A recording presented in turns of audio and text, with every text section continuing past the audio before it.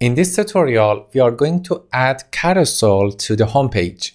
What we're gonna do is to create two fields in the database to define featured product and use them inside the homepage to show featured product as banner like this. So you have carousel and you can see different banners in this carousel in the homepage. When you click on a banner, you will be redirected to the product related to that banner. To get the source code of this lesson, go to this link and in the comment section, find video 35, click on it and compare your code with mine in this lesson. Let's get to code. Here is the plan to add carousel to the homepage. Open index.js in pages folder and import carousel from React responsive carousel. Let's install this package. Open your terminal, press Ctrl C to stop the project and npm install React responsive carousel.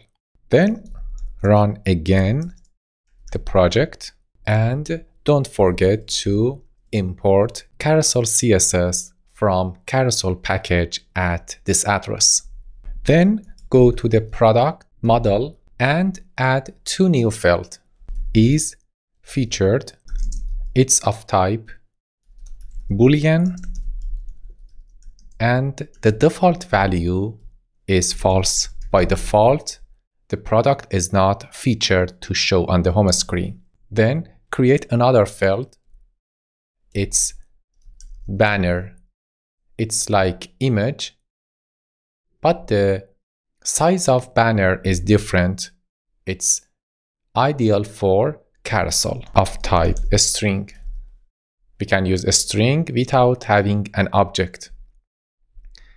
Save the code and go back to index.js and here we need to fetch featured product. Scroll down and here we are going to define another product, but this time it is featured product. And in the if case, inside the find function, define this object as filter is featured equal to true. So it only returns featured product and as well as regular product return featured product. So use featured products dot map and convert database object to plain text object. Great. So it's time to get featured product in the home function and Right after layout, define carousel like this. Set autoplay to true and show thumbs to false. Like what we did for products, copy this and make sure it is featured product. We are going to convert each featured product to a div. So put a div inside the map function and define image element set source to product dot banner. So it shows the banner. Alternative text is product dot name. Save it. And don't forget to set key for first element in the map function. And the id differentiate each item. Let's use link from next link here and set href to this address slash product slash slug of product. It's the link of product. Close the link and move it the closing tab right after the image fix the typo here, and that's it. It's time to go to the data.js in utils folder, and for first product, set is featured to true and set banner to slash images slash banner one.jpg.